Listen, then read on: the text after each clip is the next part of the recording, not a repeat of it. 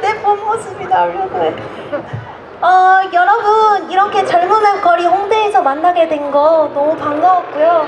저도 사회초년생일 때 꿈이 너무나도 컸어서 이렇게 상경을 하게 됐고, 이제 사투리도 거의 없을 정도로 서울 생활에 적응을 했는데요. 인정 인정. 아, 그쵸? 네, 그런데 여러분들도 아마 지금 100% 여러분들의 꿈과 현실이 들이맞진 않을 수 있을 거라고 생각해요. 하지만 여러분들이 긍정적이게 포기하지 않고 오랫동안 그 꿈에 대해서 노력하신다면 저도 그래도 지금의 삶에 만족해 하거든요. 상경했을 때보다 지금의 삶에 만족해요. 행복하고. 그러니까 여러분들도 포기하지 말고 끝까지 열심히 하셔서 행복한 삶을 가지시기를 너무너무 바래요.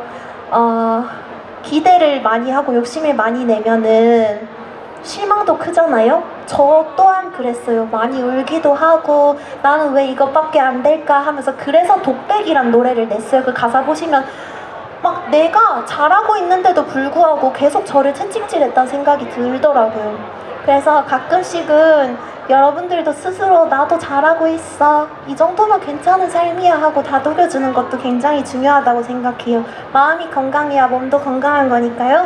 늘 여러분들이 건강하시길 바라면서 신현이도 잊지 말아주시고 오늘 남은 하루 정말 누구보다 행복하시고 기쁘시고 사랑스럽게 보내셨으면 너무너무 좋겠습니다. 감사합니다. 자 좋은 말씀 주신 신현님께 저희가 신현이 하면 여러분이 사랑해라고 해주시면 됩니다. 자, 사랑한다고 좀 크게 해주세요. 네. 사랑해라고 하시면 됩니다. 자 신현이. 나도 사랑해! 아 난리 났습니다. 그리고 아까와 같이 저희가 너무 감사드리는 마음에서 어, 나 이런 거 받지 몰랐어요. 어 나도 몰랐어요. 상장 자. 감사장 드리도록 하겠습니다. 자, 귀하는 2022 유니버엑스포 서울의 공연팀으로 참여하여 무대를 성공적으로 빛내주셨으며 많은 청춘들에게 잠들어 있는 꿈을 깨워주셨기 때문에 감사의 뜻을 담아 이 감사장을 드립니다.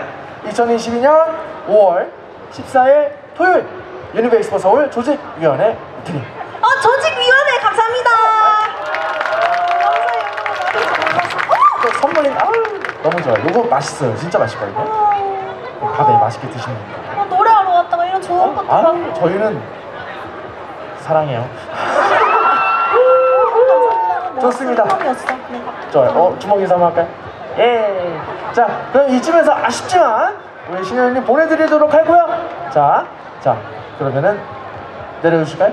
내려가라고. 여러분 갈게요. 어, 안녕. 갈게요. 어, 아니 안 돼. 이러면 다 이상한 사람 안녕. 되잖아.